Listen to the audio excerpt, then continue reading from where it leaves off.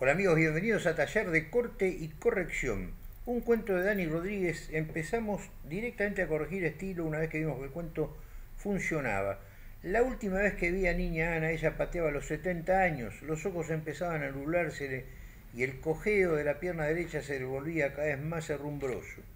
Cambio de sujeto, ahí ponemos una coma obligatoria. Antes de la I, ¿cómo, Marce? ¿Una coma antes de la I? Sí, señor. Coma obligatoria antes de la conjunción. Sin embargo, la familia para la que trabajaba no podía tener queja alguna. Esa mujer invencible hacía todo con vitalidad veinteañera. Si ustedes nos siguieron hasta acá, se habrán encontrado con un verbo eh, realmente que nos puede hacer pivotar hacia una cosa mayor. Muchachos, pongan la pausa. A ustedes les digo, pongan la pausa. Y después, cuando vuelven de la pausa, me dicen cuál era ese verbo para trabajar. ¿Mm?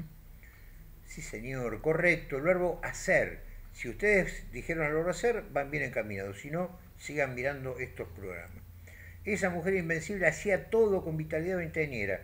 Y yo empecé a hacer una especie de, ping-pong, tenía ganas. Y le digo a Amalia Tesler, Amalia, vos primero, decime cómo podés sacarle el jugo a esa palabra naranja, que es el verbo hacer. Porque en realidad es una palabra bien exprimible, hacía todo, no la expresión hacía todo. Y Amalia y, Dolores, que se ve que son buenas laburantes en la, cocina, en el hogar, empezaron a tirar cosas como esta. Cocinaba, fregaba y cosía. ¿Ves? Ahí está. Después el autor me pidió que lo deje en naranja para buscar otras actividades que tengan más que ver con el cuento pero valga la enseñanza. Fíjense, sin embargo, la familia para la que trabajaba no podía tener queja alguna. Esa mujer invencible cocinaba, fregaba y cosía con vitalidad veinteañera, etcétera, etcétera. Lo importante es eso. El verbo hacer no es un verbo que nos permite decir mucho con poco. No nos permite ver nada. ¿eh? Tanto es así que el mismísimo autor, como ya dije, Dice, lo voy a pensar para ponerle verbos que tengan más que ver con el cuento. Eh, ese es todo el proceso de la corrección.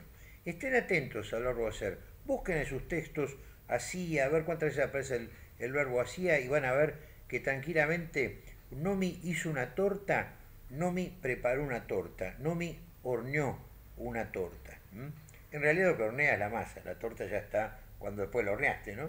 Pero lo decimos, le da un olorcito particular al verbo hornear que el verbo hacer no lo tenía. Nomi hizo una torta, no que Nomi horneó una torta y como siempre, exquisita. Mi amor, te quiero mucho. Un gran abrazo para todos y sigan con esto que es Canal Taller de Corte y Corrección, pulgares arriba, comentarios, ¿eh? hasta pronto.